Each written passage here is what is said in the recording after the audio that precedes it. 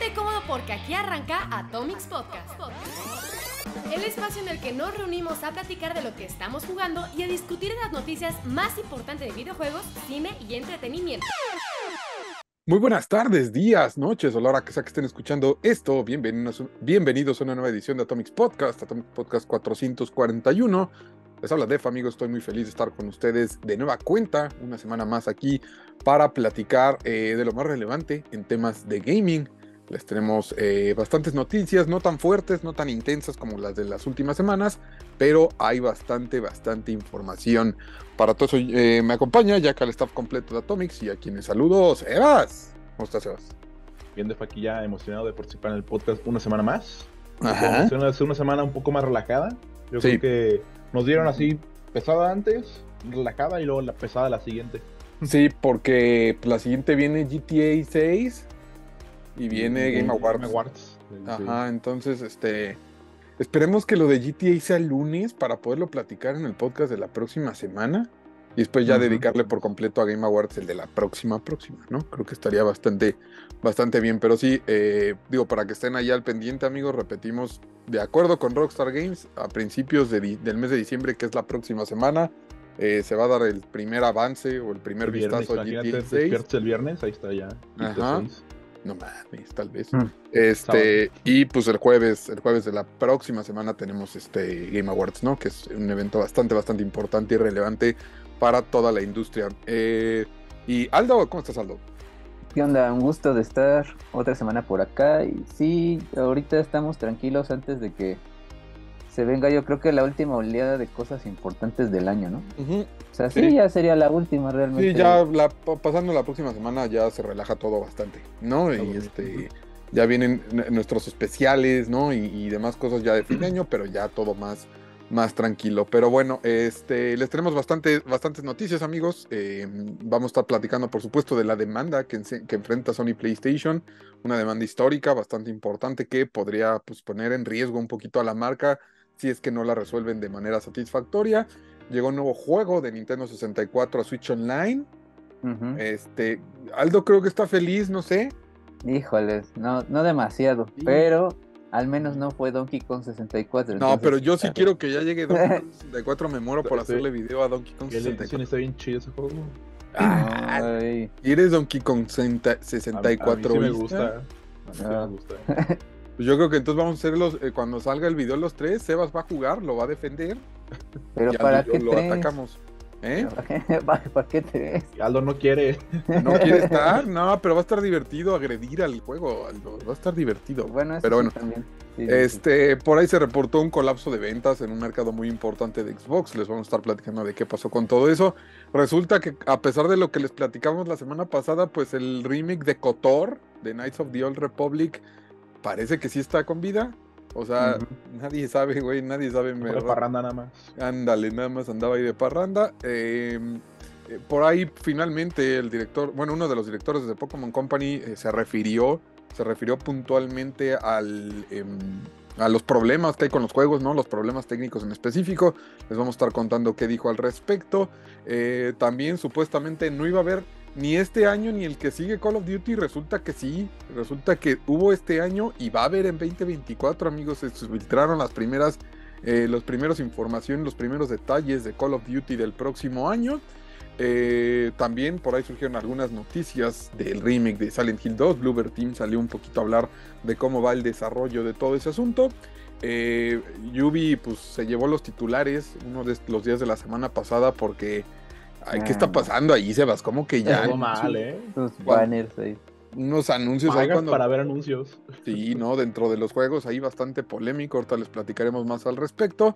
Eh, y un estudio, se, se publicó un estudio ahí de lo que van a preferir los niños en Estados Unidos en específico para Navidad referido a gaming y pues justo como lo esperábamos de terror, ¿no? Y muy decepcionante lo que eh, las nuevas, nuevas generaciones creo que ya están buscando, o sea, que un niño prefiera un mes de Game Pass a un juego, güey, así de, ah, mira niño, este es tu juego que prefiera un, un servicio de suscripción o algo como Switch Online es así de verde, güey. Porque yo me imagino lo depresivo que hubiera sido para mí que en lugar de un juego me regalaran una suscripción a Xbox Live, por ejemplo, hubiera sido así de.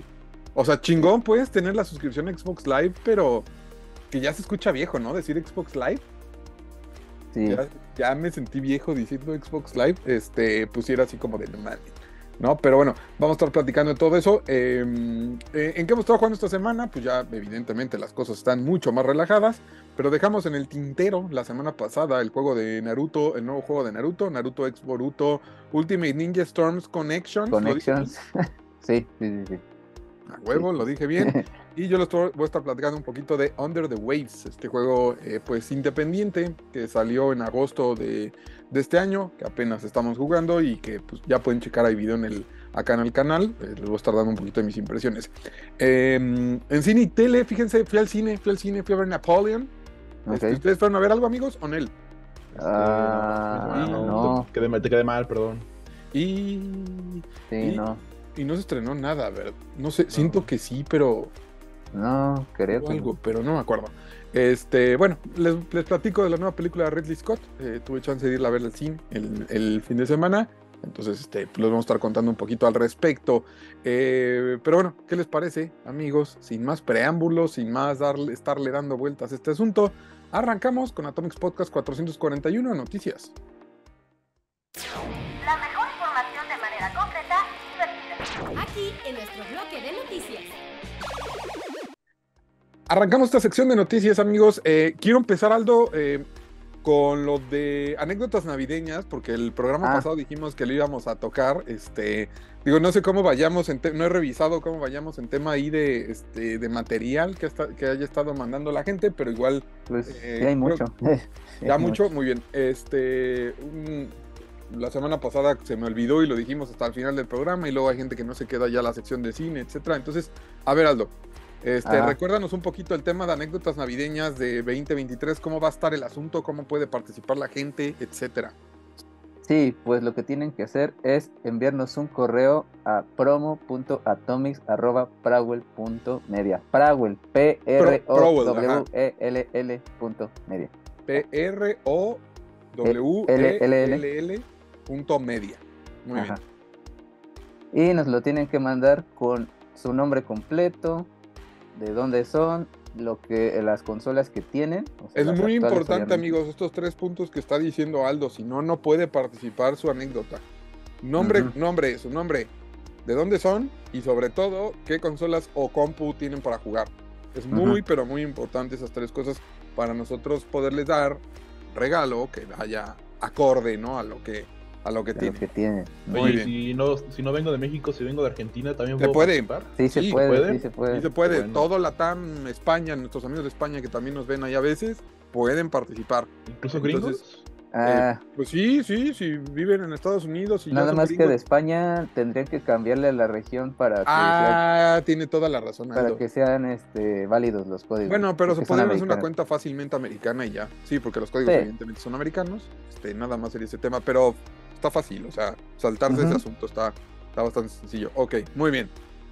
¿Qué más? Y nos tienen que enviar una anécdota que no rebase las 500 palabras. La, la- la más divertida que se relacione a alguna Navidad que les haya pasado y que, pues preferiblemente se relacione a los videojuegos. No, no, no preferiblemente, se tiene que relacionar a los videojuegos. Ok. Sí. Sí, definitivamente. Navidad y videojuegos, es importante. Y también, por supuesto, que, ah, que, que sean felices en la mayoría o chistosos. ¿no? Sí. Eh, También, se vale una tal vez un poquito más profunda, ¿no, Aldo? Si te llegas a topar ahí con alguna así un poquito más llegadora, pues también se vale, pero nada más que sea verdad. O sea, ya inventar Sí. abuelitas muertas y mensajes que les dejaron en sus juegos, no mames, ya no. ya Nah, fueron ya, ya. muchos años. Mi abuelita estarnos, este- Ocarina of Time para decirme que me quieren. Ahí. No, no, sí, Me no, tu abuelita no sabía generar un save file en Ocarina of Time, no te lo creemos. Sí, sí. ¿no? Dice Sebas, ¿qué tal que sí? Pues sí, ¿Qué tal que Ah, sí? sí se vale. dice. puede ser. Y, Y- ya, ¿no? Ujú. Ajá, y, la, y también la regla es que tienen hasta el 11 de diciembre para mandarnos. O sea, el todavía correo. tienen chance. Sí, toda, Mientras- falta van a celebrar a la Virgencita, pueden enviarlo todavía. Ajá, exactamente. Un día antes de la virgen, del día de la Virgencita. Para Ajá. que no se les olvide. Muy bien. Es lunes, Y- digo, para que... ¿Y ya, no, Aldo? Y es todo, sí va a haber premios muy buenos, ya saben, como Resident Evil 4 Remake, va a haber Cocoon, el, el indie este Cocoon, va a haber este Sea of Stars, hay para todas las plataformas Sea of Stars, entonces pues, estén ahí No buzos. mames, que- Sí, muy buen premio. Va a haber muy buenos premios. Muy buenos premios en Sí, sí, muchos de los juegos que salieron este año. Y pues ya, eso es todo. Entonces, ahí participen, amigos, en anécdotas navideñas. Em, bueno, comenzamos con las noticias. Ahora sí, Aldo. Este, a ver, cuéntanos de la demanda esta que está enfrentando Sony PlayStation, porque parece ser como más grave, más complicada de lo que. eh, pues de lo que podría parecer, ¿no? De lo que nos podríamos imaginar. Cuéntanos cómo está la cosa. Pues sí, desde hace, justamente desde hace un año, la gente en, en Europa específicamente Sí. no, no estaban de acuerdo con los precios que PlayStation está poniendo en la tienda digital. Siente que, que ya es como un poco de monopolio en cuanto al... ah, pues sí, en cuanto, como tiene buena posición PlayStation, creo que es la máxima. Sí, de que puede cobrar lo que quiera, ¿no? Ajá, y entonces hicieron comparaciones respecto incluso a otras regiones y en otras regiones hay descuentos más llamativos que el propio Europa y dicen, ah, pues qué onda, ¿por qué nosotros no tenemos más o menos el equilibrio así? Entonces tras esto le metían, están, estuvieron intentando hacer una demanda a PlayStation de 5 mil millones de libras, que son como 6.200, son 6.200, perdón, 70 millones de dólares. No, no, no, no, no. A ver, a ver, Aldo, Ah, tranquilo. bueno, el equivalente. El No, a equivalente. ver, ¿cuántos? A ver, siempre, siempre te me cuatrapeas con el tema de los números. Este, a ver, ¿cuánto dijiste, perdón? ¿Cuánto, ¿Cuántas Ah. libras? 5 mil millones de libras esterlinas, ¿A 5 mil millones? Ok, Ajá. ok, ajá. que el equivalente a Es 6 que habías dicho 5 mil libras, nada más. Ok. Ah, no, 5 mil millones de libras esterlinas, que es el equivalente a 6 mil 270 millones de dólares, Ok, por daños y eh, daños a, a los clientes que, que se hayan quejado en, en este ciclo. Incluso ya salió un, un representante a decir que justamente lo que están buscando es que Sony sea equitativo con sus clientes. Entonces, como van a hacer tanto dinero, se van a repartir entre un poco más de 8 millones de personas, que entre 67 libras y 562 libras, dependiendo de lo que la gente haya comprado. Y también hay un lapso, o sea, como un, un tiempo de una fecha. Si, que, si tú compraste entre el 19 de agosto del 2016 y el 19 de agosto de 2022, tú pasas a ser uno de los afectados en esta situación. sí. Entonces, ahorita están metiendo como litigio Sony para que le, le reduzcan lo que va a pagar o, o al final a ver si ganan. Ah, ya me escurecí. Bueno, ahorita lo arreglo. ya te oscureciste bien, cabrón, Sí. Sí, ya me escurecí. Y pues dependiendo, dependiendo de si le bajan un poco la sentencia, pues será menor el dinero, pero sí o sí creo que va a pagar, va a terminar pagando. Sí, sí, sí. Eh, sí, es un asunto que ya tiene rato ahí este eh, Sony lidiando con él, inclusive en nuestra región, no sé si se acuerdan, también hubo muchas quejas, eh, so- eh, principalmente por el tema de los dólares, ¿no? De, por qué aquí en México la tienda nos cobra en dólares cuando pues todas las demás están en pesos, ¿no? Todas las demás están en pesos, la de Nintendo, la de Xbox, eh, Steam, Steam. eh, you name it, ¿no? Todas están en pesos y Sony sigue cobrando en dólares. Es algo que no hemos entendido todavía. El tema de los precios, digo, no es como que yo compre, ¿verdad? En tiendas digitales ni nada por el estilo, pero por lo que veo de vez en cuando son precios como estándar, ¿no? Como muy normales. ¿no? Entonces, este, no habría nada, no habría de ese problema al respecto. No, no especifican más, Aldo en específico. Ah, eh, especifican Ah. que, que también normalmente en comparación a los otros, ti- ellos Sí. tienen un 30% de comisión. A los europeos, a los europeos siempre tienen ese problema. eh, también fíjate cuando anuncian, por ejemplo, algo de Apple, que dicen eh, el nuevo iPhone a partir de mil dólares y mil euros. Y tú dices, pero a ver, güey, o sea, Sí. mil euros es bastante más que mil dólares, ¿no? ¿Por qué no se ajusta eso? ¿No? Entonces, los europeos como que creo yo siempre han estado acostumbrados, o no sé, eh, a como pagar estos precios de más, ¿no? A estar pagando, a estar pagando como de más en prácticamente todo. Y me imagino que este asunto con lo de Sony, pues ya fue un güey, ya estamos hartos, ¿no? Ya nos Ujú. hartamos de que, de que por qué nosotros vamos a estar pagando más. Alguien me dirá, pues es que la eurozona es más cara en general. Sí, pero este tipo de bienes sí no tendrían por qué costar diferente, ¿no? O sea, no, no- no- un juego no tendría por qué costar, un juego de 60 dólares no tendría por qué costar 60 euros. Ajá. Y es Porque así. cuan- cuando salen también, este, sale a 70 euros el Sí. de Last of Us y también a- Sí. se- son 70 dólares y 70 Ajá. euros allá. Sí, sí, es sí. más dinero. Y pues sabemos que 70 euros es, bas- es bastante más que 70 Sí. dólares, ¿no? Entonces, eh, pues está eso, eso es muchísimo dinero, es muchísimo dinero, o sea, eh, me- eso más o menos costó Bungie, ¿no? Según lo que recordábamos, más o menos fue lo que costó Bungie, lo que... 3.6, ¿no? A 3 puntos, ah, pues entonces el doble. Ah, Entonces la demanda estamos hablando del doble de lo que costó de lo que costó Bungie. Entonces, este, sí, será un golpe durísimo. Evidentemente esto va para largo y, y Sony va a meter 260 mil amparos y el equipo legal ha de estar trabajando durísimo para eh, o reducir al mínimo este asunto o apagarlo por completo. O sea, también Sony me imagino que está buscando recursos legales para pagarlo por completo. No es decir, pues son mis Sí. precios y tú los pagaste. Y eso también, si tú lo piensas, es así de, pues, es como sentir de pronto que me salió muy caro algo en Amazon y unos años después intentarlo demandar porque me lo vendió muy caro. ¿Pudo haber sido un abuso? Sí, sí, definitivamente pudo ser un abuso, pero al final del día quien aceptó el precio pues fue uno, ¿no? Fue el consumidor. digo, yo, yo podría decir que pues ahorita el, el Switch OLED que pagué de Zelda me costó Ajá. casi, casi 11 y ahorita ya está a 7 nada más. Sí, sí, sí. No los voy a demandar. Pues, yo lo sí, quise no. comprar. Pero da coraje, ¿no? Esos, sobre todo esos cambios de precio, ¿no? ¿Se acuerdan el escándalo que hubo cuando la reducción de precio del 3DS, por ejemplo, ¿no? Que Nintendo tuvo que salir con Sí. del Ambassador Program y, y todo eso. Eh, es algo, amigos, que también es, es un problema con el que nos topamos en el mundo y en el sistema en el que vivimos, pues a diario, güey. ¿No? A diario. Creo que todos podemos contar de algo que compramos, güey, y que a los dos días o al día le pusieron una mega oferta y pues perdiste tú un chingo de lana ahí, ¿no? Entonces, pues es algo bastante común. A ver cómo progresa, a ver cómo progresa este asunto de la demanda contra Sony. Suena grave por la cantidad de dinero por la cual se está demandando a la compañía. Será un golpe durísimo, eh, pero a ver, a ver en qué sigue progresando y a ver en qué, en qué avanza todo este tema legal. Cuéntenos en los comentarios, amigos, ustedes qué opinan si es o no justo eh, demandar a una compañía. Muchos van a decir que sí, pinches compañías abusivas tienen un punto, por supuesto que tienen un punto. eh, pero también está el hecho de, pues, el pinche Sebas fue a pagar precio completo de tal o cual juego. ¿No? Entonces, Sí. pues, ¿qué hace uno? ¿Qué hace uno? Pero bueno, ahí está eh, todo este asunto. Eh, Sebas, nuevo juego a Switch Online. Nuevo juego a Switch Online, ¿nos emociona sí o no? A mí sí. Sí. Este, justamente se reveló la semana pasada que eh, en algún punto de diciembre, no, no dijeron exactamente cuándo, va a llegar Jet Force Gemini a Nintendo Switch Online Plus Expansion Pack para Nintendo 64 en nuestra Sí. región.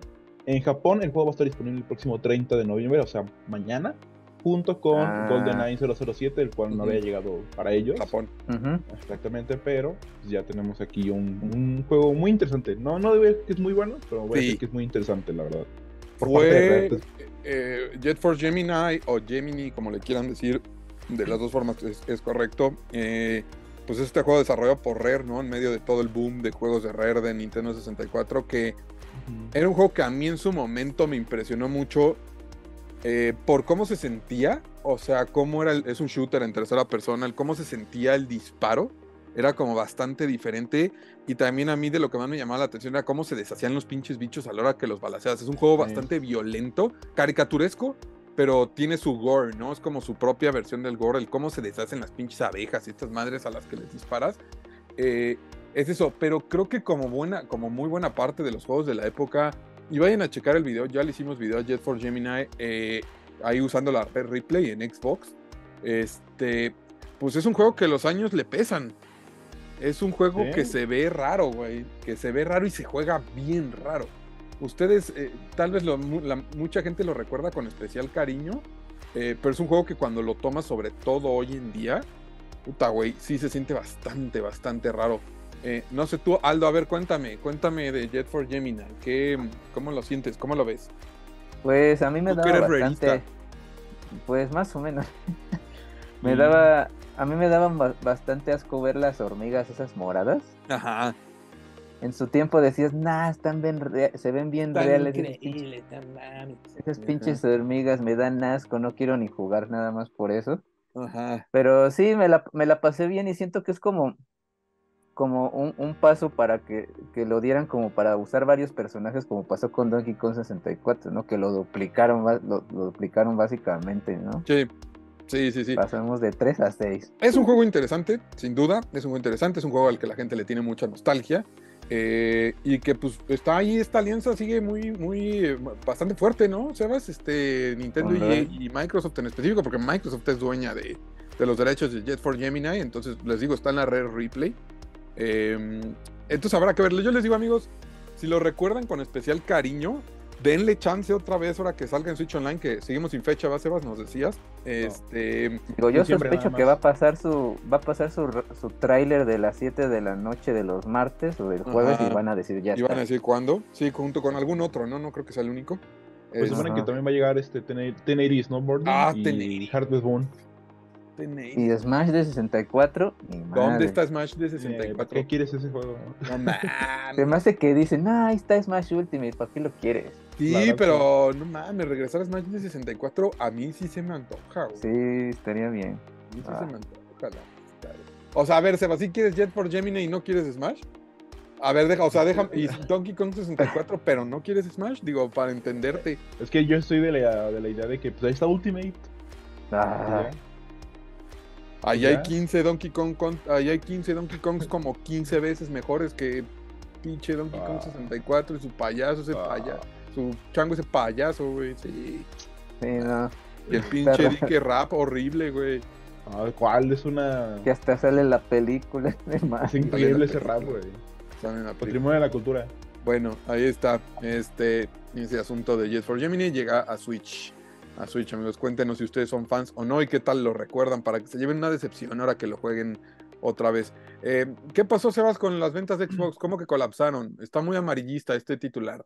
La verdad, sí. La verdad, Este, sí. Justamente, justamente salió un reporte por parte de Games Industry.biz la semana pasada, donde se mencionó que el 52%, bueno, más bien que las ventas del Xbox Series X y S disminuyeron un 52% en comparación del mismo periodo del año pasado en Europa. pues, Muchísimo, güey. Es muchísimo, más de la mitad. Sí, sí, sí. Exactamente.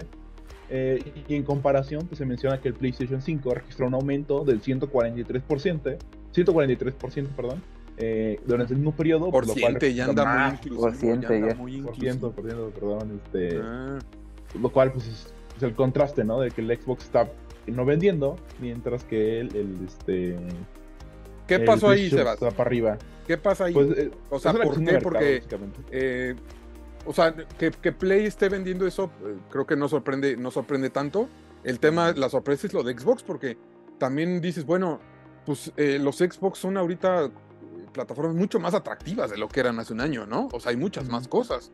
Eh, ¿Qué pasa ahí? O sea, ¿qué está pasando ahí? güey? Sí, pues justamente se menciona que Xbox, bueno, bien Europa nunca ha sido un territorio tan Xbox como, los, como lo es México o, Sí, o no. Estados Unidos en comparación.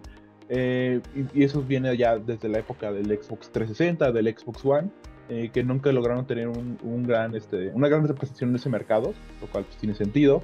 Eh, y la verdad, pues va por ese lado, básicamente, que no, no, no están teniendo un- un- una gran representación para ellos y pues ya está afectando, pero que en comparación de lo que estaba vendiendo el Xbox One en- durante el mismo periodo, pues el Xbox Series X está, le está ganando a lo que generó el Xbox One. Entonces, por un lado, depende cómo ves la noticia de que pues sí, es, una lástima de que Sí. está cayendo sustancialmente las ventas, pero por el otro lado, es, ¿sabes qué? Sí está cayendo, pero están generando más de lo que se generó con El anterioridad. tema es que ir mejor que el Xbox One no consuela a nadie, güey.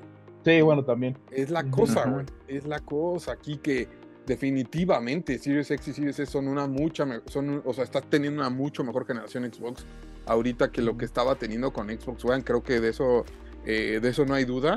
Eh, lo que preocupa es otra vez estas caídas de pronto que lo que es mercado japonés y, y- y- y europeo, las consolas no caminan. Y del lado de América también no es como que haya tanto que presumir a nivel de ventas de hardware, ¿no? En específico. Sí. ¿no? Game Pass también está pasándola no tan bien, etcétera. Entonces, eh, creo que eh, estos esfuerzos de Xbox, de la marca y compras de estudios y todo eso, pues no están rindiendo de ninguna forma, ¿no? No Sí, bueno, que hay, que dejar en claro que el, la- el- el objetivo de Xbox, al menos en esta generación, no Es ha sido vender tantas consolas. Exactamente, Sí. no es vender consolas, es vender Game Pass. Que en ese sentido, pues, como ya mencionaste, sí, sí cayó un poco, pero igual va, va bien. O sea, no es como. Yo mi pregunta, de mi pregunta hace unos programas era, ok, es Game Pass tu objetivo, pero pues, ¿dónde va a jugar la gente Game Pass? Entiendo que lo de la nube viene ya fuerte y todo eso, pero Eh, Pues creo PC, que, creo que la nube, pues, teles. te vas- O sea, nube, nube y PC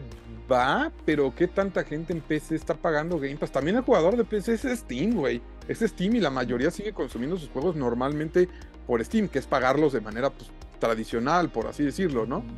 Eh, yo diría que el jugador de Game Pass, el grueso del jugador de Game Pass es quien tiene un Xbox One, un Xbox Series S o un Xbox Series X. Y creo que el objetivo de Xbox, si quiere que esa base de Game Pass crezca, sería más bien o aceleras lo de la nube y le metes cabroncísimo, o sea, ya que todas las teles traigan una aplicación de Game Pass y que jale súper chingón, y a intentar jalar por ahí, o vender Xboxes, que vender Xboxes al parecer no está siendo el camino por más de lo atractivo que es algo como el Series S, ¿no? En temas de, de, de, este, de precio y todo eso, ¿no? Sí. Bueno, creo que también Sí. tiene que ver el hecho de que no son, otra- son- no son tan atractivos, el hecho de que, por ejemplo, ahí viene uno, ya salió a la venta el nuevo Sirius S, co- que ya tiene un tera de memoria, Sí. o sea, no fue tan atractivo como lo, lo está haciendo ahorita el, el PlayStation 5 Slim, por ejemplo, qué? También tiene que ver mucho de marketing, es que en este sentido tiene que ver con marketing, porque ¿cuántos anuncios has visto del, del Sirius S de un tera? Poquito, poquito. Poquito, pero y el Play 5, pues nadie para hablar de esa madre, pues, también. Pues sí, pues sí, pero, no- o sea, creo que hay muchas más ventajas del lado del Series S negro de un Tera que del, o sea, Sí. de- del Play- o sea, el Play 5 Slim, la gente no lo va a comparar por, ay, güey, ya, o sea, los que tenemos Play 5 no vamos a ir a cambiar nuestro Play por un PlayStation Ahora 5 no. Slim. Van, la gente que va a comprar un PlayStation 5 Slim es porque el que, es el que se va a encontrar ya en las tiendas. Punto, güey. Ujú. O sea, no va a tener ni elección. Va a ser el que se va a empezar a encontrar en las tiendas. Que por cierto, ya hay preventa, ¿verdad? Ya, Este, ya está pre- ¿Cuándo sale México, acá? en- ¿Tiene fecha? El acá en México? 31 de diciembre. Ah, no, entonces no. Si dice Ah, 31 de está- diciembre es porque no hay fecha. Es un Ajá, placeholder. no fecha. Sí, nada más. Pero este año yo creo que sí llega, ¿no, Aldo? ¿Sí? o Sí, no? yo creo que sí. Eh, ¿Cuánto ah, cuesta? será 13. 13. Está en 13 ya en Amazon México, ahí por si lo quieren ir a apartar, amigos. Este. Está bien. ¿no? Bueno, eh, pues ahí está, amigos, lo de, lo de Xbox. Obviamente, números que deberían de preocupar muchísimo a la dirección de la marca. Eh, por más que, como bien dice Seba, su objetivo sea vender Game Pass, yo digo, pues sí, es vender Game Pass, pero ¿a través de qué vas a vender Game Pass? Yo ahorita el tema de la PC y de la nube no los veo como vías Mm. como tan importantes para el, para el servicio. Y creo que parte del estancamiento del propio Game Pass, de los números que han dejado de crecer, es porque ya no hay gente, güey, con Xbox. Es porque el Xbox no está vendiendo, ¿no? Series S y Series X no está vendiendo, ¿no? También por ahí sale una nota que el PlayStation Portal en España, el PlayStation Portal en España vendió más que Series X y Series S. O sea, Mm. güey, eso no mames. No, es así de neta, güey. Bueno, ahí las cosas, amigos, ahí las cosas. A ver, nos pasamos a lo de Star Wars. Porque, a ver, ¿quién, le-. ¿quién dio esa nota la semana pasada? ¿Quién La dio esa nota? Yo, Yo. yo que está vivo, ¿no? ¿Tebas o, o Aldo? La, de que está Cotor- vivo yo. La la que que estaba muerto yo. A la que estaba muerto. A ver, Aldo la semana pasada nos dijo que estaba muerto y lo dimos por. Sí. Ya, se acabó, Cotor. Resulta que no, ¿verdad, Sebas? A Hasta ver, me vestí de pasó, negro. Ahora qué. Ándale, sí. Ahora qué pasó, Este, pues. No, pues ahí tu tío Jason Schreider, esta vez Ujú. periodista de Bloomberg, eh, compartió un reportaje en donde mencionó que él habló con múltiples miembros del de, eh, el estudio responsable, Cyber Interactive, para eh, confirmar si sí o no estaba muerto el proyecto, porque Ujú. como sabremos nunca hubo un, no un anuncio oficial por parte del estudio que No. lo confirmara. Y menciona que no, no está muerto, que simplemente están bajando la escala del proyecto, pero siguen trabajando en ese juego. Pero da, eh, da énfasis en el sentido de que si bien están trabajando ahorita en- actualmente en este juego, no sabe si eventualmente va a salir o no. o- o sea, la duda de que Oh, lo Ah, puede ser pues. cancelado, ¿no? Pero por el momento sigue con vida. Ok, o sea, a Jason le dijeron que si hay gente trabajando activamente en él. Sí, nada más que redujeron un tantito la, la- como la escala del proyecto. O sea, hoy en la mañana llegó alguien a hacer assets, a hacer texturas, yo ¿no? Y creo. a hacer modelos y a programar algo. Hoy en la mañana, supuestamente. Hoy en la mañana. Se Supuestamente, ¿no? Este, ¿A qué se referían eso? ¿Con bajar la, la- la escala del proyecto? O sea, no va a ser. Se re- yo creo que más se refiere al- a la cantidad de gente que está trabajando en él. Bueno, Ujú. ok, pues ahí está. Este, Pues sí, a ver pues si sigue con vida, ahí está. sigue con vida. Muy chance bien. lo vemos en unos días en el The Game Awards, chance, chance no. No creo, Sebas. No creo. Yo creo que ¿Quién no tiene absolutamente nada que mostrar. Yo Ya creo. Sí, sería como O sea, muy, muy sorpresivo que Se saliera en- anunció en el 2021, ya que digan ya. Sí, sí, sí, pero pues digo, no es el último, no es ni el primero ni el último proyecto de este tipo que vemos que se alarga y se alarga y se alarga y no sabemos nada y no sabemos nada y de pronto empiezan a salir cosas. Pero bueno, ahí está. Oye, lo de Pokémon, Sebas, fíjate que, este, ¿cómo se llama este señor, el guapo este? Este, Ah, Ta- Ta- Takato Utsunomiya. Utsunomiya, sí, Utsunomiya. Eh, a él tuvimos oportunidad de estar con una- en una mesa redonda ahora en Yokohama este, por los mundiales Pokémon. Y precisamente mi, pri- mi- mi primera pregunta tenía que ver con, oye, ¿qué pedo, no? ¿Por qué todos los demás productos de Pokémon están tan cuidados y los juegos están tan vergueados? Así tal cual le iba yo a preguntar al En señor. español. Eh, sí, y se me acercó Vergueado. alguien de, Pokémon Company, Japón. de Relaciones Públicas, y me dijo, el señor solo va a responder cosas relacionadas al torneo, bueno, al evento este, a la convención, y este, y ya y yo, mmm, Mm, la madre, güey. Qué bonito lugar, dices, ¿no? Y evidentemente tenía que ver, porque yo y el resto de los colegas que estuvieron en la mesa redonda, iba a tener que ver con el estado de los juegos, ¿no? El estado de, de Scarlet y Violet. Eh, acá finalmente se refirió, ¿verdad? Se refirió, dijo algo al respecto, Sebas. A ver, ¿qué dijo? ¿Qué dijo? ¿De por qué están tan puteados? En una entrevista con el Guardian mencionó que por fin le va a responder la pregunta que quería hacer Alberto Defa. Ah, muy bien, gracias. Me, me- se refirió a mí, ahí pueden ver en la cita, se refiere a mí. Eh, no, o sea, mencionó, obviamente le preguntaron sobre el estado técnico eh, de los juegos de Pokémon, mencionando que si bien no han hecho comunicados como cualquier otra compañía que cuando un juego sale mal, sacan un comunicado mencionando, ¿sabes qué? Lo estamos escuchando, estamos conscientes de los errores y vamos a arreglarlos.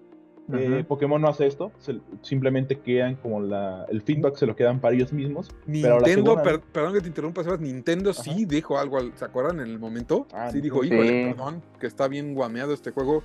Eh, Nintendo, por, por un lado Nintendo, ¿no? Porque pues, son muchos participantes en este asunto. Nintendo es de, de- es de Pokémon Company y era Game Freak, evidentemente, ¿no? En medio de todo esto. Ajá, perdón, Sebas. Exactamente, pero dice que aunque no, no, no sacan estos comunicados, están totalmente conscientes de las preocupaciones que tienen los fanáticos Claro. respecto a los juegos y tomarán esta información como un buen feedback para que en el futuro pues, no se repitan los mismos problemas que digo, está por verse eso. Sí. ok. Acá el asunto otra vez es, amigos, em, el- el- el- la onda comercial.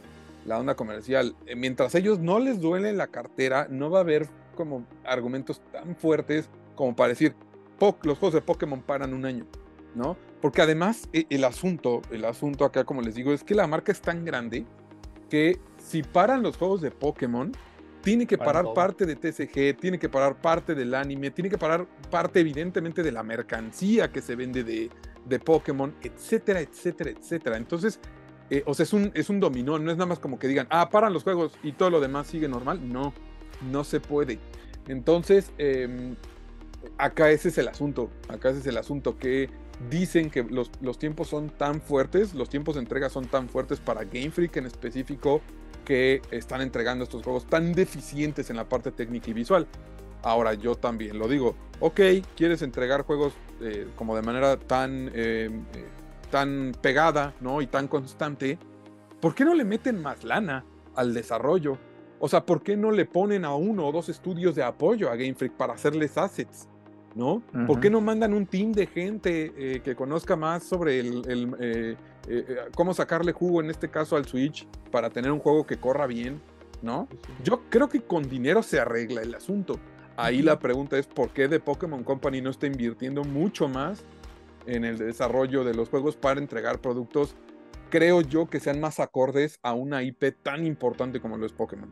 ¿No? Sí, justamente ahí tienen a Ilka, que Ilka los que se rayaron en los Sí. remakes de Pokémon Diamond and Pearl, que bien podrían ayudarles. Igual Nintendo Sí. creo que igual les podría prestar Monolith, que ya saben que Monolith está ayudó con el desarrollo de Tears of the Kingdom y Breath Sí. of the Wild, y con la dirección de Ujú. mundo abierto que está tomando ahorita ya Pokémon, pues creo que no les quería dar una ayudita por parte de ellos. Pero sí, o sea, tiene que ver principalmente con, con el dinero y como mencionas, hasta que los números no bajen, no, no- Pokémon Company no va a haber un, este, un estate quieto, porque justamente Scarlet and Violet creo que a los tres días ganaron que 10, 10 millones de unidades. Sí, ¿no? sí, sí, sí. O sea, Sí, encantó. O sea, Scarlett y Violet en general le encantó. Y te digo, y siempre lo, lo he dicho ya en repetidas ocasiones, da mucho coraje ver juegos tan buenos como lo es desde Legend Arceus y, y, y Scarlet y Violet, que son juegos muy, muy buenos. Tapados por este juego que se ve horripilante y que corre muy mal, ¿no? Ajá. Entonces, imagínense los juegos que tendríamos si estuvieran trabajados correctamente, ¿no? Pero bueno, eso fue lo que dijo ahí el, este, el señor Pokémon. Habrá que ver. No sabemos nada del futuro ahorita de la serie, ¿verdad, amigos? En videojuegos. No, ¿Qué va a pasar? ¿Hay juego el próximo año? Seguramente, ¿no? ¿Qué toca? Remake. pero, pero no hay confirmado nada, ¿verdad? Nada. Sí. Me gustaría otro Legends, la verdad, ¿eh? Se habla de otro Legend, se habla de remix. ¿Se acuerdan que estuvo De Black y White. eh, el regreso de Black y White? Eh, se hablaba de otro Let's Go, pero ahora este, pues de la segunda Yoto. generación, ajá, en Yoto. Eh, eh, habrá que ver, habrá que ver qué onda. Pero ¿qué habrá evento antes de que acabe el año de Pokémon para anunciar lo que viene 2024 No o hasta No, yo creo que hasta Ya nos febrero. vamos hasta Ya, febrero. Sí, porque ahorita están más bien concentrados con el tema de la expansión, ¿no? Que ya viene de Indigo Disc. Este, ahora en, en- diciembre. ¿Mande? Nada, no. Este, pero bueno, ahí está, ahí está el asunto de Pokémon, amigos. Cuéntenos, cuéntenos en los comentarios ustedes qué opinan al respecto. Continuando con las noticias, amigos, eh, pues tuvimos ahí de último momento un par de filtraciones de fechas. Por ahí se dice que Skull and Bones sí llega en febrero, llega en febrero del próximo año. Prepárate, Aldo, porque esa cobertura es tuya, Ay, está en tus manos. Está bueno. en tu respuesta. No, no es cierto. No, a ver cómo andamos. No es cierto, no es cierto. A ver cómo andamos. sapo, Lo eh, más seguro es que más bien caiga en Sebastián. No, no, no, un sapo. A ver, a ver, vamos, a ver. vamos a ver cómo, cómo andamos. Y este, Dragon's Dogma, que justo para cuando estamos grabando esto, pues este, hay showcase ahí de Dragon's Dogma en, en un ratito más. Eh, 22 de marzo. 22 de marzo, Dragon's Dogma 2. Entonces, este, suena bien. Aldo tuvo ahí por ahí chance de jugarlo y dice que, que harto bien. Sí, está entretenido. Sí, Sí. está muy, muy bien. Está Sí, muy bien, pero bueno, ahí, ahí está ese, ese asunto. Eh, a ver, ahora sí, Call of Duty, Sebas, 2024. A ver, no, a ver, yo no entiendo, güey. Me dijeron que íbamos a descansar en 2023. No, que en 2023 no, porque pinche Modern Warfare 3 va a estar increíble y tiene que salir. Sale Modern Warfare 3, una pinche mierda absoluta, güey. 20, no, que ya que en 2024 se va a descansar para que la serie se reacomode. Ahora que Xbox está al frente, va a ser todo diferente y Activision va a regresar a viejas glorias, etcétera. Eh, Parece que no. A ver, Sebas, ¿qué pasó? ¿Qué pasó? Pues sí, mira, justamente Ajá. pese a que todavía no hay información oficial, ya hay reportes y rumores que señalan que el siguiente juego de Call of Duty, el cual llegaría en 2024, llevaría el nombre de Black Ops Wolf War, el cual Black Ops. Ok. Otro Black Ops que como su nombre lo indica, se llevaría a cabo durante la Guerra del Golfo. Eh, lo interesante es que aquí jugaríamos como un agente de la CIA, tipo de cosas. Y eh, aquellos que preordenen el juego pues, tener- tendrían acceso a la campaña semanas antes de su lanzamiento Sí, oficial. que va a ser ahora mucho antes, ¿no? Normalmente es, creo que a veces una semana, me Una parece. semana antes. Ajá, ahora va a ser mucho antes, ¿no? Ajá, Supuestamente. mucho antes. Sí, para que cuando llegue ya el, su día oficial de lanzamiento, pues solamente esté disponible zombies y multiplayer o. Sí, como whatever, normalmente ¿no? ha, pasado ahora con este. ¿Y saben Ajá. qué es eso también para provocar? Y ahora sí que yo les dije a nuestros amigos de Activision, no va a pasar. Provocar el que no les hagas solo una reseña, que les hagas más de una reseña. Entonces, este, no va a pasar, amigos de Activision. No, si nos tenemos que esperar, pues nos esperamos, no hay pedo. Muy bien. Ajá. Eh. Lo interesante es que se menciona que ese sería el primer juego de Call of Duty en años en tener un ciclo de desarrollo de cuatro años específicamente. Eh, Porque usualmente, como recuerdan, son de entre dos y tres, dependiendo del ciclo Sí. de, de Sí, estudio. sí, sí. O en el Eh, caso de Modern Warfare 3, o en año y medio. Año y medio, exact- exactamente. Eh, lo cual a mí me suena positivo, la verdad. O sea, tener ya cuatro no, años. se de va desarrollo. ya, no, se va ya, ya, Ya. ya, güey, ya, O sea, ya estamos no cagados de ver- Call of Duty, güey, O sea, ya. yo igual no quisiera ver un Call of Duty el próximo año, la verdad. Que se tomen un descanso. Miren, a ver, pero a ver, si está sí. por arriba del estándar, pues tal vez sale bueno.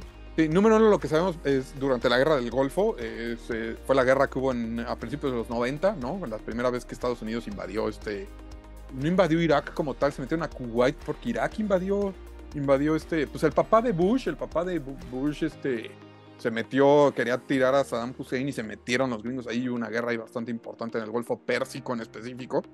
Eh, a- al parecer el juego va a estar basado en eso. Eh, la verdad es que, lo que lo que se hizo con el último, eh, con, con Black Ops, que era Cold War, ¿no? Y sonaba increíble, de guerra, de la Guerra Fría y espionaje y todo eso, pinche mierda también de juego.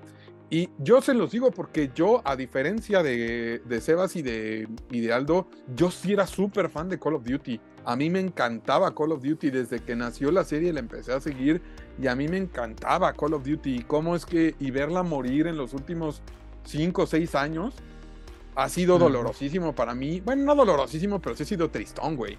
Sí ha sido, güey, no mames. Era súper increíble cada año que salía un nuevo Call of Duty y ver con qué te salían y con qué locura y cómo te sorprendían con sus campañas y con un multiplayer súper sólido, etcétera.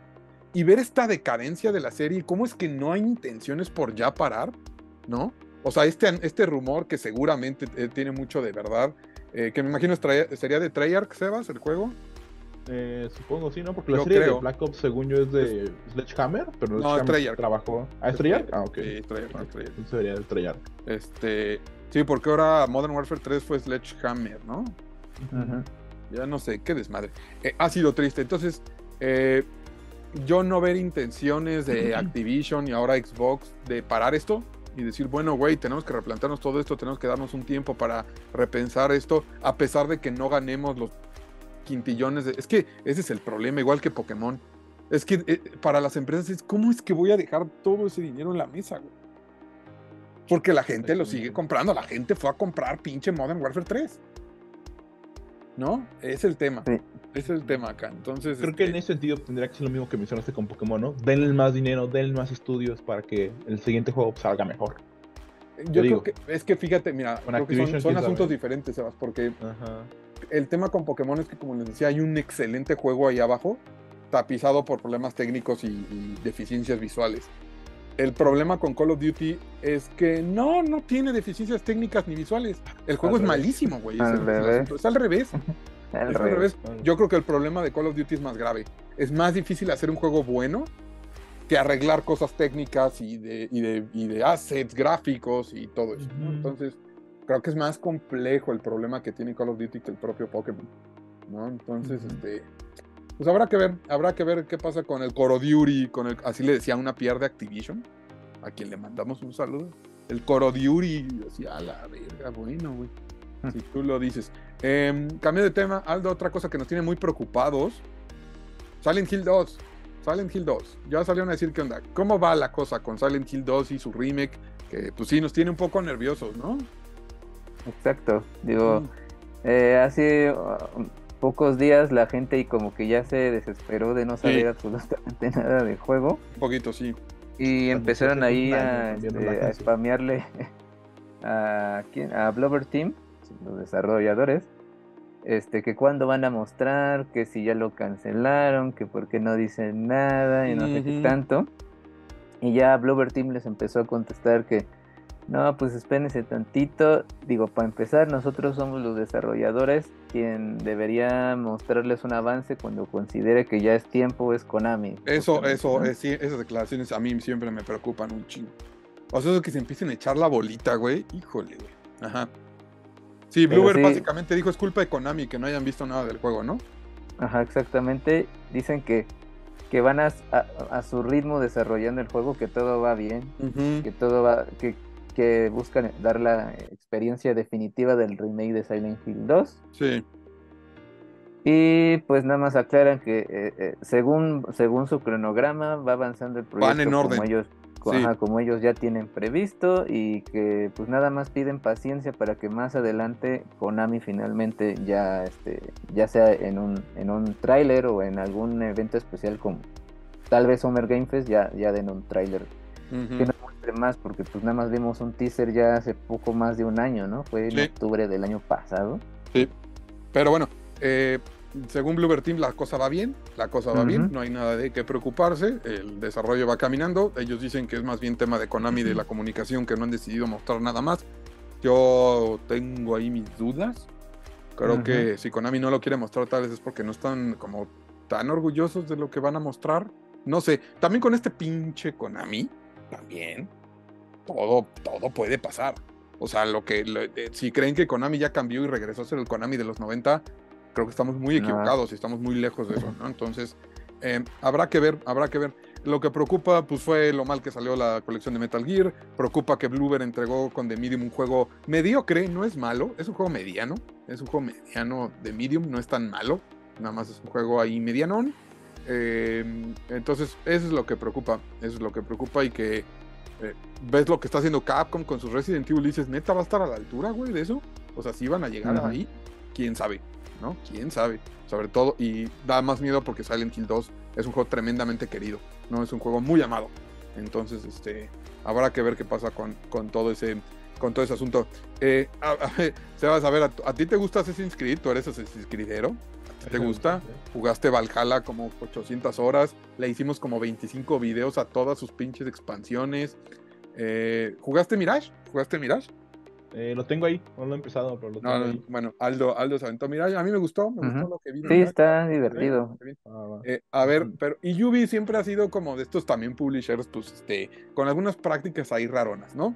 Pero lo que hicieron, creo que la semana pasada, que ellos alegaron que era un problema, era un error, error mayas, eso no, no, ay, sí, un error, güey, un error y aparece un banner de promoción. ¿Qué pasó, Sebas? ¿Qué pasó con Assassin's Creed? Pues sí, justamente como sabrán, la semana pasada, a finales de la semana pasada, se llevó a cabo pues, el Black Friday, ¿no? Un periodo de descuento, tipo de Sí. cosas.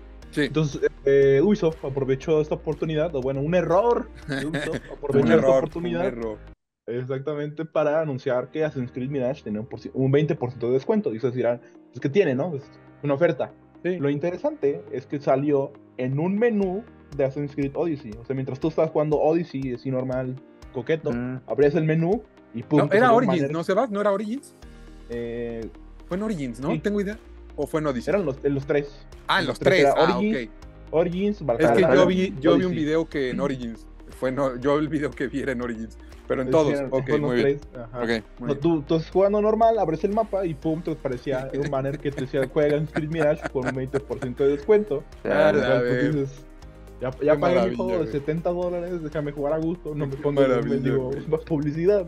Pinche Ajá. Ubisoft, güey, se maman, se ¿Cuál super se maman, güey. Se super maman, güey. Y eso era, eso, eso de Ubisoft es, este, es, es una medida que dicen, a ver, a mí no me sirve de nada que alguien esté jugando ahorita Assassin's Creed Origins u Odyssey, que seguramente compraron por 20 dólares en cualquier lado. No me sirve a mí eso de nada. Necesito que la gente vaya a comprar Mirage, ¿no? Entonces, alguien, algún Smartas dijo, pues hay que recordarles de alguna manera que ya está Mirage y que además tiene ahorita descuento. Ponles ahí, en cuanto abran el mapa, les plantas el, de pésimo vale. gusto, eso sobra decirlo, ¿no? De pésimo, pésimo gusto. Creo que hay mil vías de marketing en las que no tienes por qué invadir el tiempo de una persona con un juego, ¿no? Sí. Es una falta de respeto enorme. O sea, para mí es una falta de respeto enorme, güey. Entiendo que hay gente que está súper acostumbrada a que en sus pinches teléfonos todo el tiempo les estén brincando notificaciones y anuncios y mierda y media. Pero esa gente que está acostumbrada a consumir este tipo de mierda en estas cosas. Pero quien sí les tenemos respeto a los videojuegos y este medio que tanto amamos, pues sí es como de pésimo gusto que de pronto abras un mapa, güey, y te planten un pinche anuncio de que ah, por qué no compras Assassin's Creed Mirage con 20% de descuento. ¿No? Sí, Entonces, y lo peor es que, o sea, ti- si tú juegas cualquiera de los Assassin's Creed que mencioné, al principio del juego tienes como una sección de, sí, como de además, anuncios. Sí, además. Ajá, además. que compra tal Sí. paquete por 20 dólares, Sí, whatever. sí, sí. Ahí lo pudieron meter y creo que no se hubiera hecho tanto desmadre. No, no, no. Acá el asunto fue que es en medio del juego, durante medio el juego. juego. Sí, así de, no, pues ya me salí de la experiencia que Ajá. estaba yo teniendo aquí muy bonito. Y en el jefe final, güey, explorando las pirámides de Giza, ¿no?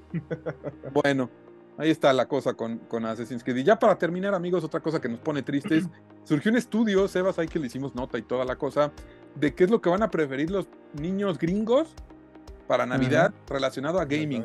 Y juegos o servicios de suscripción. Y el resultado es lamentable. Pues sí, A ver, justamente la Entertainment Software Association, o ESA, eh, realizó un estudio es, a 500 que es- niños. es famosa, ¿no? Ahora ha sido famosa la ESA con todo el asunto de tres. Sí. Exactamente. Este, realizó, una- realizó un estudio, una encuesta más bien, con Sí. 500 niños de Estados Unidos entre 10 y 17 años, Sí. sobre que... Sebas entra en ese grupo. por Yo cierto. entro ahí, yo Tengo tengo, 10. tengo Sí. 15. Sebas tiene 15. Exactamente. Muy bien. Eh, sobre qué es lo que van a pedir para Navidad a. Santa. Y el 39% a Santa. O el Reyes Magos, ¿no? Tú No. gringo. Nah, a Es Santa, ya, ya es Santa. sí. O sea, este, el 39% mencionó que quieren algún tipo de suscripción como Xbox Game Pass o PlayStation Plus o incluso el, el suscripción que tiene Fortnite, tipo de cosas. O Switch Online. cual- o Switch Online exactamente, lo cual pues como menciona Defa pues, es una es extraña, es una excepción, también es una Sí. brecha generacional que Sí, sí, que ya no entendemos nosotros. Ajá. Ujú. Eh, el 38% dice que quiere una consola, lo cual pues está bien, creo que por ahí va la, es más la normal. cosa. Eh, el, el ah, justamente el 32% quiere accesorios para sus juegos como controles o whatever.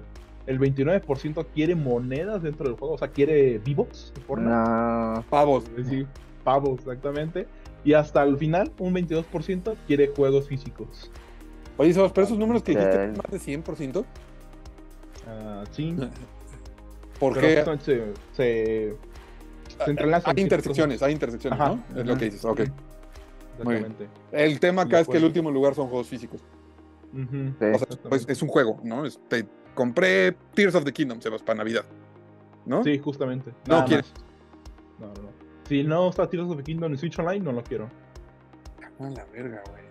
No, pues sí. Digo, están bastante parejos. También no es como para escandalizarnos tanto. Creo que los números Sí, están sí. bastante parejos. Eh, pero pues sí, llama la atención, ¿no? Llama la atención que. O sea, pero que. A ver, lo que yo no entiendo es. Eh, abajo del arbolito del niño, ¿qué hay? O sea, ¿qué aparece, Un güey? código de descarga. O sea, pero un papel. ¿Cómo le hacen? ¿Un papel? Porque ya no es como que vendan tampoco. Este, No, sí, sí, sí, todavía Sí, hay las- las tarjeta. tarjetitas. Game Pass, o sea, hay, hay Game Pass físico. en Sí, una vas, al- Sí, vas al Y de Seven y al Switch Oxxo Online y las también hay. De Switch las Online también. No se las compro. Sí, Sí al. Oxxo ahorita al Seven y ve por una compra. Ahorita voy, ahorita voy, ahorita voy a comprar Game Pass. O sea, pero entonces eso, o sea, no Eso. quieren ver una caja de, o sea, una, una cajita ahí bonita, no, Mm. una tarjeta con un pinche código atrás. Vértebra, O ya dinero directo al directamente al niño. Toma 500 baros, Sí, cómprate sí, ya haz lo que quieras, sí, ya hay cero touch, ¿no? Ya nuestros papás, este, eh, peleándose por, por el juguete eh, del regalo prometido. regalo prometido. Ya no pasa eso, ¿no? Simplemente, pues mete la tarjeta ahí, chingado niño, al Switch y ya. Ese es tu regalo de. Navidad. Bueno, si quieren, ¿no? Supongo. Pero bueno, Cada Ahí quien, está. ¿no? amigos de las, la- algunas de las noticias más importantes de la semana. Esperamos, repito, la próxima semana estarles contando ahí de lo de eh, Grand Theft Auto, ¿no? Si es que se revela, espero, Sí. A ver, a ver qué pasa con todo eso. Toda la información va a estar en atomics.bg de todos modos. Y eh, pues ahí está, ahí está el asunto. Digo, Vamos. va a haber Manden. va, va a haber directo de Level 5 de sus juegos que van a salir en los próximos meses. Pues sí, pero. A quien le interese. El, Sí. profe- el profesor Layton, ¿no? Estaría chido. Profesor Ajá, Layton. Inazuma Eleven, Decapolis, Eh, se ve increíble. Este, eh, Fantasy Life. ¿no? ujú. A ver qué pasa. A ver qué pasa ahí con Level 5. Pero bueno, eh, vámonos, vámonos a la siguiente sección, amigos, para platicar un poquito de lo que hemos estado jugando. Regresamos. Nunca dejamos de jugar. ¿Qué probamos esta semana? Ya estamos de regreso, amigos, aquí en Atomics Podcast 441 para platicar un poquito de lo que hemos estado jugando, porque la semana pasada ya nos dio tiempo de platicar del, juego, del nuevo juego de Naruto. Ustedes me dirán, este nuevo juego de Naruto, no importa cuándo digas esto, sí. Perfecto. Pero bueno, acá trascendió porque sale Naruto, ex Boruto, Ultimate Ninja Storm Connections. A ver, Aldo, yo tengo varias preguntas porque vi su video, no, y digo, sí se me resolvieron la mayoría, pues.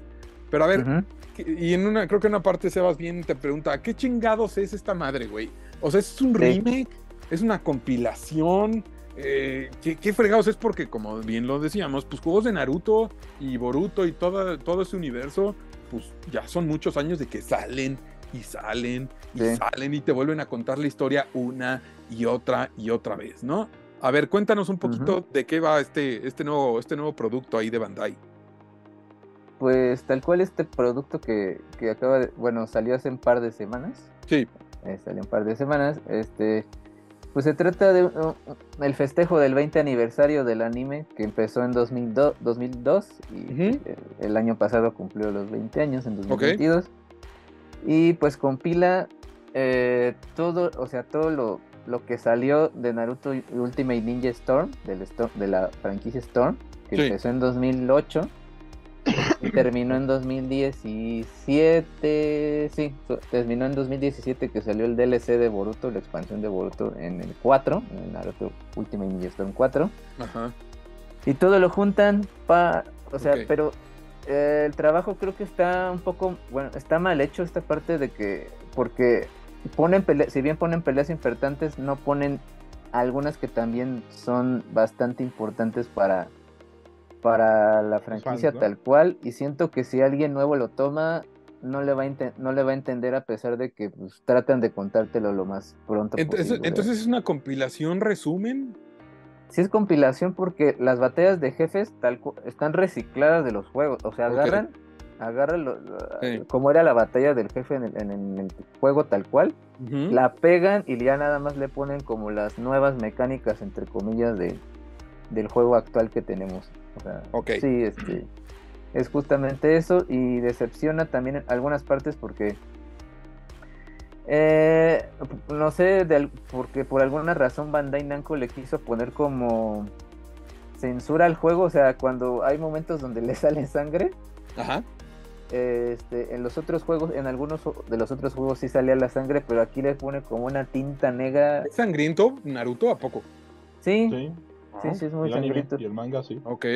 Y no, sé por qué, de, de un tiempo para acá, este, quien publica Naruto tiene el entendimiento de que es un producto para niños cuando realmente no. A mí me da esa impresión, güey. A mí me daba Pues sí, esa ¿no? impresión. Es O sea, que es un anime de como 13 acción. años. Que sí es acción, pero que no ves violencia como en Dragon Ball o como en Saint Seiya o como en... Es que sí hay, No, violen- sí- sí- sí es sí hay violencia. Ok, ok, Ajá. ok. Pero sí es como para. Como niño de 12 de- años más o menos. Ajá, como de, ajá, de 12 Sí, como prepuber, ¿no? Sí, exacto.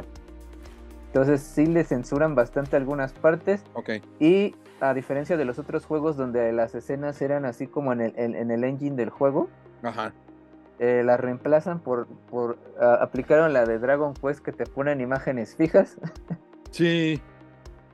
Eh, de. Dai, ¿no? ¿Dices? ajá, como el de Dai, que, le- que te ponen algunas imágenes fijas del anime tal cual, Sí. pero las que tienen sangre se las modifican también para que esté de color negro, por alguna razón.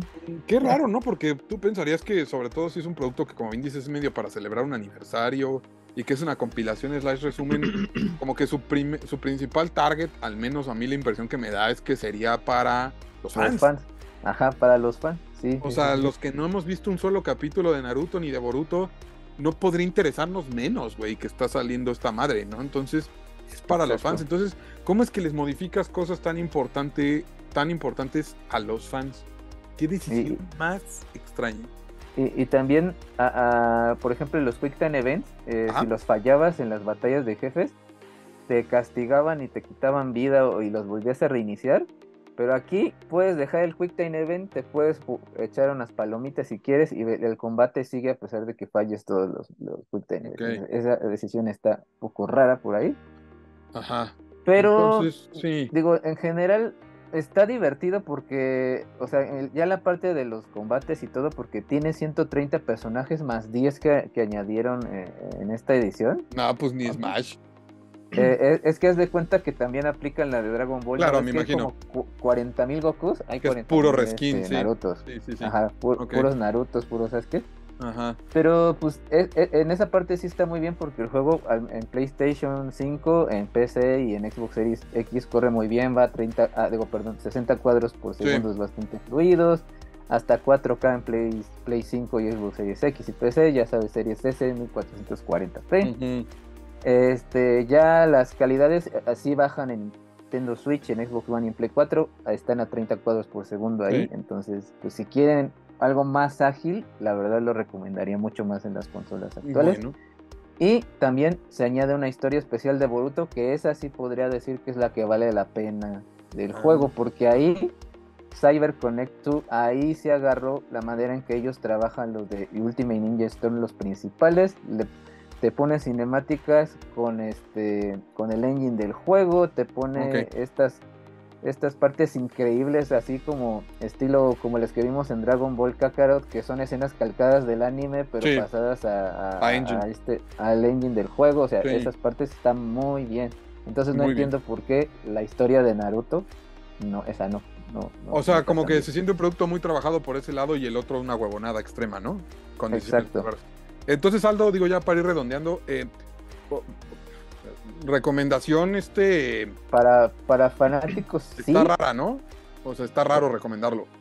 Está raro, sí, Sí. por supuesto. y, O sea, para fans, para gente que se quiera hacer fan y quiera empezar, la verdad le recomendaría pasar por todos los Ultimate Ninja Store numerados del 1 al 4, Ok. porque sí te quitan varias cosas de la historia. sí ¿Alguien, alguien se aventará combates. cuatro Narutos al hilo, güey, así, de corridito, güey? Dice, No no, quiero ver el anime, no quiero leer el manga, quiero jugar. el juego. Ah, pero es muy difícil, ¿no? Que alguien que no haya visto el anime y el manga juegue. Sí, no, está complicado. está, está muy, muy complicado. Sí. Eh, ¿El anime es muy largo? Sí. Más o menos, ¿Qué son como 500? Ah, la. Dice Aldo, Sí. más o menos, güey. No, pues, Son, son como 500 si ya le quitas el relleno, porque son como 800 si ya le metes relleno. Ahí está, ¿eh? Ah, Sí. la verte. Fan promedio de este One Piece. Está cortito. Ah, 500 episodios. Sí, no, está leve. Cortito. Está tranquilo, güey. No, no mames. O sea, Dragon Ball Z, ¿de qué tamaño es? No, no, Por es ejemplo, como de no tengo 300, idea. ¿no? Es como de 300 y Y a mí. Dragon Ball Z se me hacía así. Es el anime más, es la serie más larga que he visto en mi vida. O sea, jamás he visto algo de, de- de más, de más episodios, ¿no? No mames. O sea, es nada, güey. Dragon Ball Z junto a, junto Sí. estas cosas, güey. No, pues bueno. Eh, pues ya disponible, ¿no, Aldo? Entonces para todo. Sí, ya disponible para Play 4, Play 5, Xbox One, Xbox Series XS, Nintendo Switch y PC. Sí. Vale, pues ahí para que le entren si es que son fans o no, chequen el video que ya tenemos acá en el canal de YouTube y la reseña de Aldo en atomics.bg. Eh, Yo, amigos, por, eh, por mi parte estuve jugando esto. Miren, acá lo tengo en la mano. Estuve jugando esto.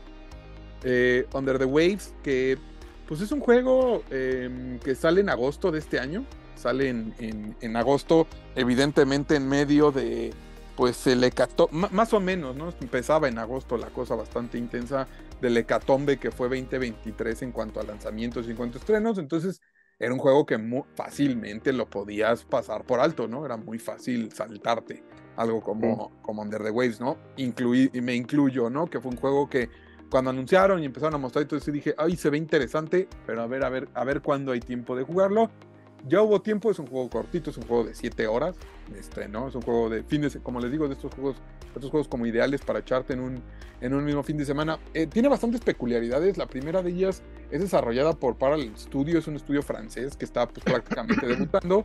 eh, y publicado por Spotlight, eh, que es esta como subsidiaria de Quantic Dream, es básicamente Quantic Dream, ¿no? Que ellos también se aventaron por ahí la publicación de la Director's Cut de Sea of Solitude, que fue una publicación que hizo originalmente Electronic Arts, ¿no? De un juego indie ahí, eh, pues más o menos, ¿no? Más muy medio, más o menos ahí la cosa. Eh, Under the Waves es un juego que es de estos indies, está hecho en Unreal 4, que tiene este look por momentos como que quiere verse como triple A, ¿no? Que se ve muy espectacular por momentos en el tema en el tema gráfico. Es un juego, le platicaba ya Sebas en el material que ya tenemos en video disponible, que me recordó mucho a varias cosas, como por ejemplo Firewatch. ¿Se acuerdan de Firewatch? Que es este juego indie pues, que sonó bastante en su momento. ¿De qué año quedamos que era, Sebas? 2016. 16, creo que es este. Firewatch ya. ya tiene, ya tiene su tiempo que, que estábamos jugando. Firewatch, aunque se sienta que fue ayer, pues sí, ya tiene su rato. Eh, también me recuerda mucho, me recuerda mucho a Deliver of the Moon, que son estos juegos en donde no hay combate, son estos juegos en los que no tienes que matar a nadie ni tienes que matar a nada, ¿no? Son estos Ok. juegos más bien centrados a la exploración, a la solución de algunos puzzles y también altamente cargados en la parte narrativa. Les digo que me, me recuerda a Firewatch porque pues también eres un cabrón que mandaron a trabajar a un lugar remoto, en este caso al fondo del mar, eh, y que solo tienes contacto con una persona de vez en cuando. Es un juego muy solitario, es un juego muy atmosférico, es un juego que habla de problemas este, mentales, ¿no? Eh, interpretamos a un dude que se llama Stan, que pues se fue a trabajar ahí porque pues, sufrió una pérdida muy muy fuerte y como que se quiere aislar de todo, pero el propio aislamiento le empieza a afectar, etcétera, etcétera. Eh, y el juego está interesante porque pues también maneja este sentido un poquito como de mundo abierto, esta es una especie como de mundo abierto en el que puedes hacer diferentes cosas, pero que al final del día es como bastante eh, lineal, ¿no? Entonces, eh, está interesante el juego. El juego a nivel de mecánicas y de gameplay no propone absolutamente nada. Son cosas que ya hemos hecho en, en muchos juegos un montón de veces. Creo que lo- su fuerte es precisamente la parte de la historia y la atmósfera. El juego es muy atmosférico. El juego eh, creo que sí transmite muy cabrón lo que es como este todo, todavía este misticismo de explorar eh, algo como el fondo del mar. ¿no? Tiene un soundtrack muy bien logrado, el sonido es muy muy bueno. Entonces eh, creo que es parte como de su objetivo y además tiene cierto mensaje social de ecológico, ¿no? De lo que está pasando ahorita con el, con el mar, ¿no? Lo- seguido vemos noticias de encontraron 15 cuántas pinches toneladas de plástico o no sé qué desastre ecológico porque en una plataforma de extracción de petróleo hubo un pinche desmadre y se regaron 15 cuántos millones de litros de crudo al mar, ¿no? Entonces tiene Ok. un poquito de ese, de ese mensaje y es un juego divertido en general. Repito, no propone nada, ¿no? O sea, son cosas que ya hemos visto un montón de veces, pero creo que este cambio entre estar buceando con Stan, ¿no? O sea, tal cual, eh, libre, buceo libre, como con eh, el estar explorando en el submarino este que tienes, en el Moon, que se llama, que es un sumergible. Eh, está muy bonito y creo que para todos los que sentimos como cierta fascinación por lo que es el fondo del mar y lo que ocurre allá, que es prácticamente pues como el espacio exterior de son, es un lugar inhóspito en el que no podemos vivir nosotros como humanos ni nada por el estilo, muy peligroso y todo eso, creo que les va a gustar. Sí. Y no, no les dará miedo a quienes, este, yo creo, a quienes son fóbicos a, a, a Sebas le da miedo el mar. A mí sí me da miedo el mar. Pero lo, lo que vi del gameplay eh, pues interesante, ¿no? O sea, creo que me, me da miedo más como el, el, unknown, o sea, el hecho de que de repente salga una pinche criatura ahí en el coma. Ajá. Pero no tiene eso Under the Way. No, no tiene eso. O sea, sí hay hazards, sí hay peligros, ¿no? Sí hay cosas que te pueden matar, pero no juega tanto con ese miedo del que habla, del que habla Seba. Sí, ¿no? Este como. O sea, sí hay escenas que es como este, el Big Blue, ¿no? Este, pues, este espacio inmenso en el que todo es azul y en el que no sabes de dónde te puede salir Nada. algo. Eh. Pero no es como que pase eso mucho, o sea, no es como que de pronto un tiburón te quiera comer, ni nada por el estilo, Ay, ¿no? Entonces, bueno.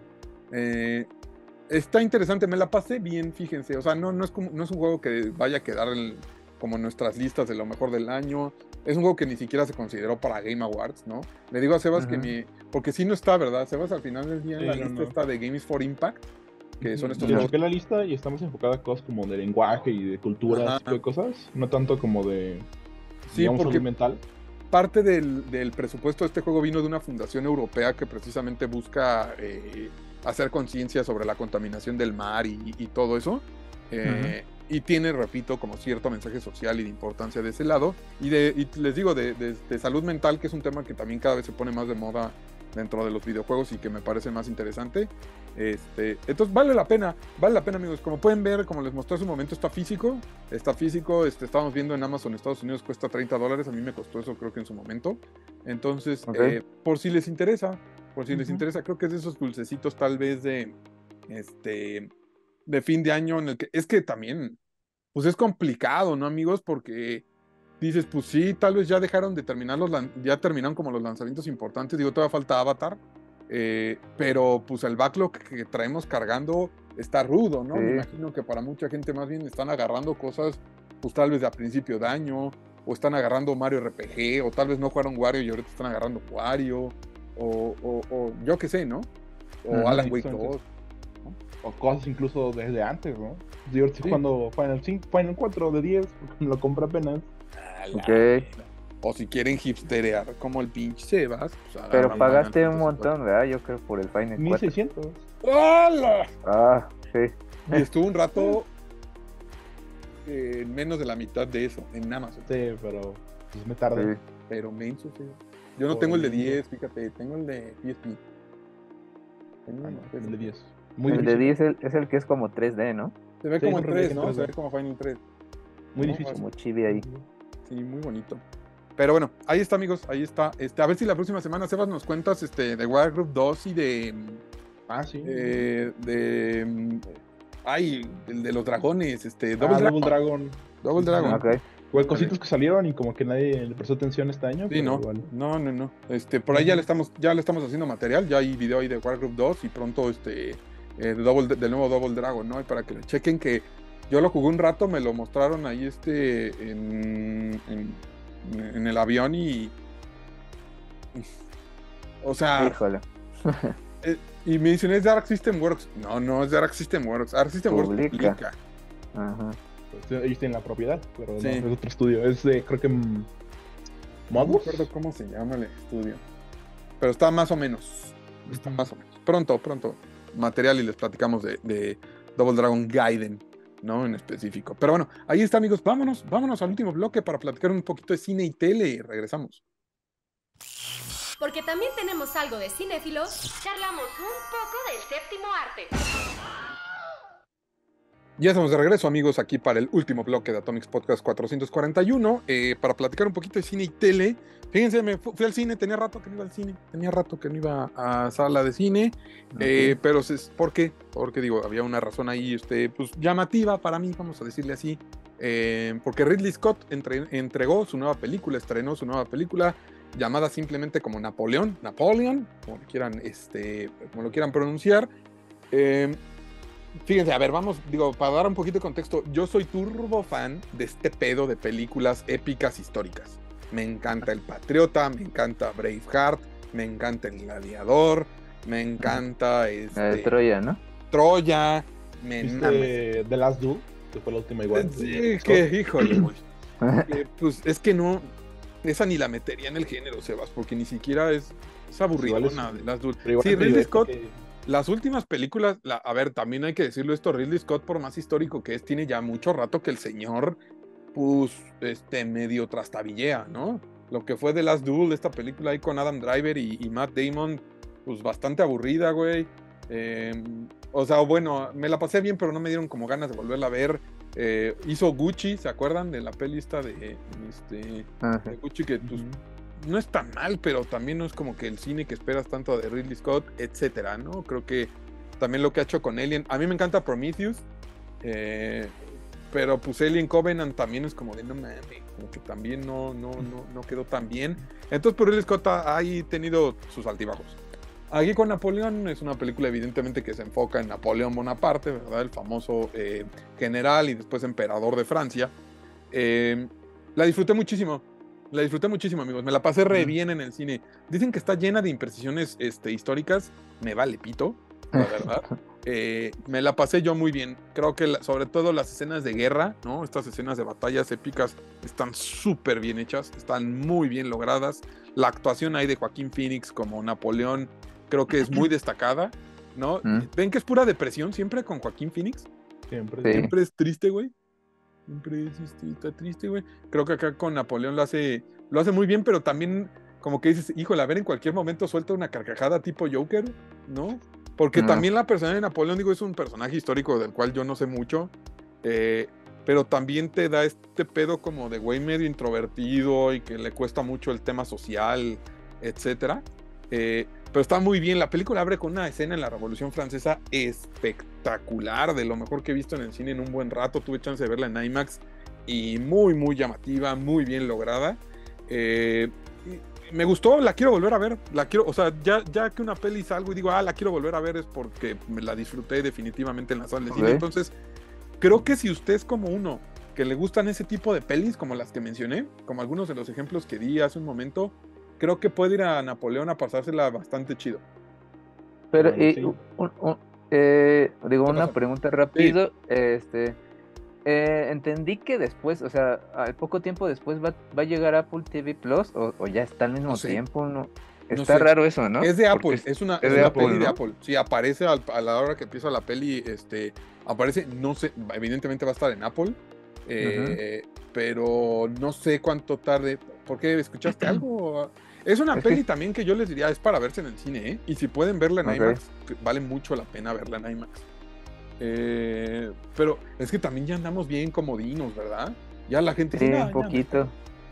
Yo como por ejemplo sí. con la de Wish, creo que ya me voy a esperar definitivamente al Disney Plus. Bien malita. ¿La vi- la- ¿Ya la viste, Seba? No. No, no, no la he visto. Pero dicen que está sí bien mala, güey. Ni, Sí. ni en Disney. Plus la voy a ver. Nah.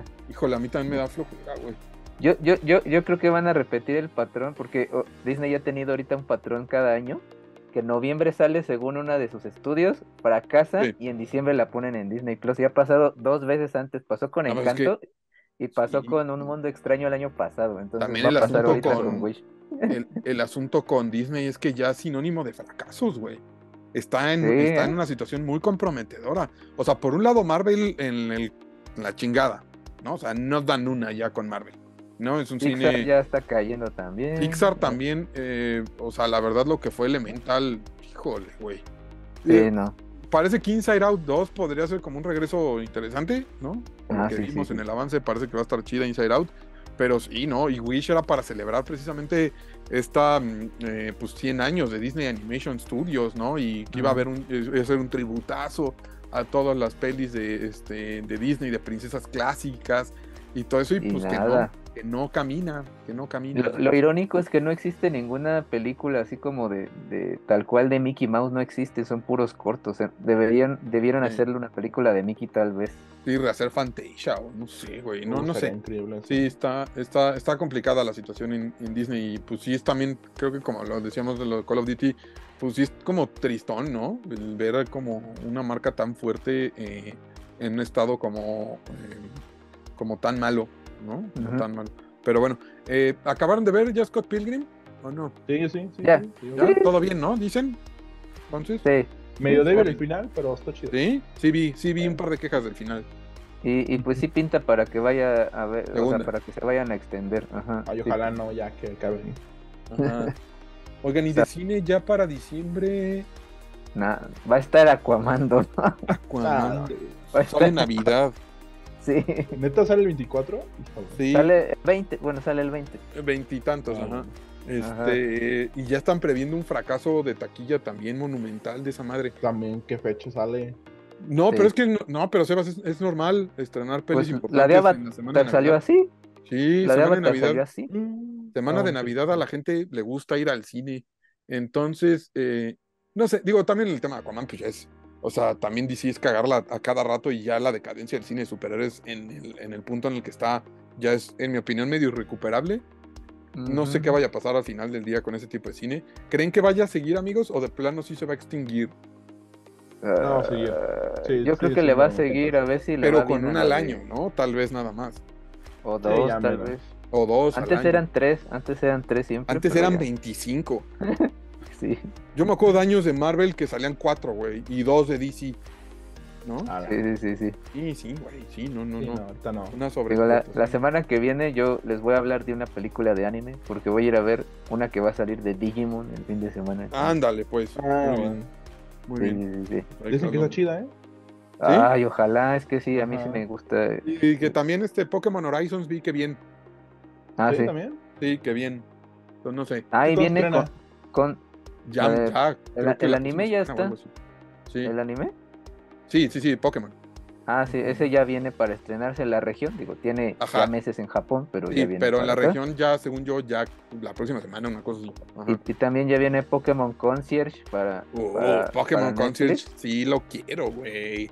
Pero bueno, va a ser una cosita muy pequeña, ¿no? Creo que va a Sí, ser ahí unos cortitos animados muy, pero muy bonitos. Pero bueno, ahí está, amigos. Así vamos llegando al final de Atomics Podcast 441. Muchísimas gracias por habernos acompañado eh, una semana más. No nos queda más que invitarlos a suscribirse al canal, darle like a este video, compartirlo y checar todo el demás contenido que tenemos tanto aquí en YouTube con atomics.bg, en, acá en el canal. eh, vamos a seguir el, el mismo calendario de siempre, es decir, nuevo video de lunes a viernes. Vamos con muchos, muchos clásicos. Son muchos, muchos clásicos. Va a haber eh, justo las siguientes semanas. Eh, la semana de Navidad del 20 en específico, como ya lo habíamos anunciado, eh, sale nuestro especial de anécdotas navideñas. Eh, y la siguiente semana, que es miércoles 20. Ahí no me acuerdo. No pueden checar, amigos, rápido ahí en el calendario. la- Ah, sí, antes sí, de Año sí. Nuevo. Es miércoles. Viene la del juego del año.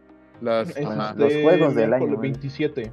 27, miércoles 27 es nuestro especial de juegos del año. Esa semana en específico el canal también descansa un poquito. El único, el único contenido que va a haber va a ser el especial de juegos del año y ya en enero pues, retomamos otra vez la actividad la actividad normal porque enero va fuerte, ¿verdad? ¿No? O sea, Sí, sí, eh, sí, sí. Enero empezamos con todo. mucho chance ahí de, de respirar en enero un poquito. Digo, si pero- tan solo en febrero va a salir ya el, el Final Fantasy Rebirth. el Sí. 7. y Skull and Bones, no te olvides de Skull and Bones. Ah, sí, sí. Sí, cierto, no manches. bueno, Like Ahí a está. Dragon. Laika Ah, Dragon. Laika Dragon. Laika Dragon, Sebas. Los veo muy Infinite excitados Wealth. por Laika Dragon con Infinite Wealth. Sí, sí, sí. Pero bueno, eh, gracias, Sebas. ¿Dónde no te Ah. siguen? Ah, sí, gracias, gracias Aldo. A mí no me siguen en Twitter. Eh, ya les voy a decir, ya creo que ya la siguiente semana ya creo mi, mi nuevo ¿Sí? usuario. Bueno, Sí, Ah, Ok, o sea, entonces de cero vas a empezar. ya murió entonces. De cero, sí, ya. Hijo de- qué Como tan- Phoenix. Renacer. Ah, bueno, va pues. Este, ahí está. Eh, gracias, Aldo. A ti sí, donde te siguen. Ya, sí, sí, me pueden seguir. Gracias, Defa Sebas. Me pueden seguir en Aldo-1. Bien. En ex Twitter, como quieran Bien. Eh, yo soy como arroba Alberto Defa, arroba Atomics en todos lados. Chequen, repito, todos los demás contenidos que tenemos tanto aquí en YouTube como en atomics.bg. Eh, los pasados podcasts, por si es que se los saltaron o se lo perdieron. Eh, y nada, nada amigos, gracias. Nos seguimos viendo aquí en Atomics. Bye bye.